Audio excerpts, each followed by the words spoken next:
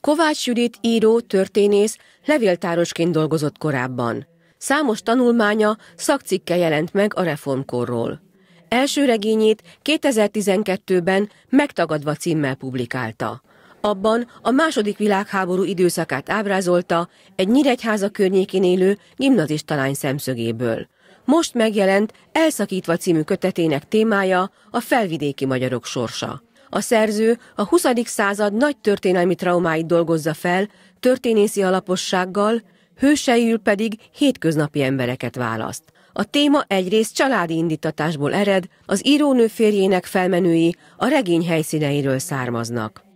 A család elszenvedte azt, amiről a regény is szól, a Benes dekrétumok jogfosztása, ennek következményei, a kollektív bűnösség ennek következményei, és ők azok a hétköznapi emberek, aki bárki lehet, és bárki ugyanezekkel, ugyanezeket élte volna át, ha abban a korban születik. Tehát azok a traumák, amelyet csak azért kell elszenvedni valakinek, mert ő magyarnak született, vagy németnek született.